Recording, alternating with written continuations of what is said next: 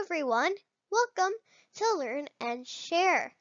We are doing problem solving strategies and this one is write a number sentence. Write a number sentence strategy. So here are the steps to use the strategy. Step 1. Show the main idea. Step 2. Decide which operation fits the main idea. Step 3. Use a blank or a letter to show what you are trying to find. Step 4. Solve the number sentence. Here is a problem to help us understand the strategy. Calvin has 15 shirts. Four of them were given to him by his mom and the rest by his dad. How many shirts were given to him by his dad. Do you want to try it yourself? Feel free to pause the video and try it yourself. Do you want to see how I solved it? I solved it in a step-by-step -step way.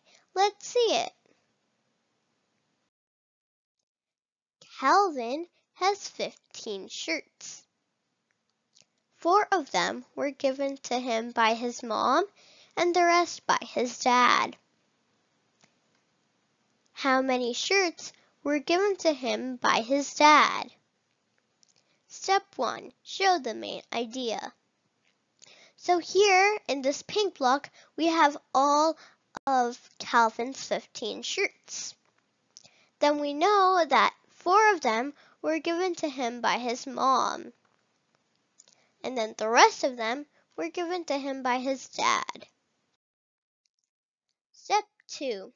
Decide which operation fits the main idea. So by operation, I mean like addition, subtraction, subtraction, multiplication, division. So what will fit here? To find the missing part, we use subtraction.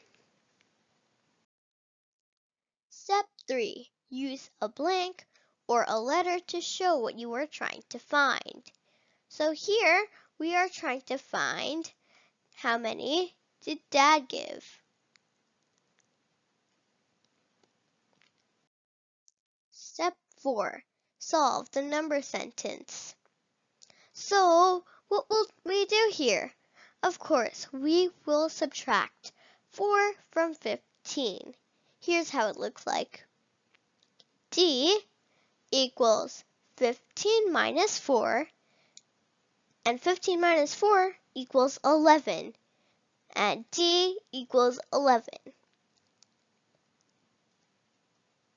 So 11 shirts were given by Dad. Yay! We solved the problem. Coming up is the fun part and that is make your own word problem. Here's a tip. You can use the same word problem and change the numbers and objects in blue to make a new word problem. Here is mine. I got 20 toys on my birthday. Some were given to me by my friends and the rest by my parents. If my parents gave me 12 toys, how many toys were given by my friends? So easy to make your own word problems. For more word problems, click the link in the description box below. Hope you liked my video. Thanks for watching. Please like, share, and subscribe to my channel. See you. Bye.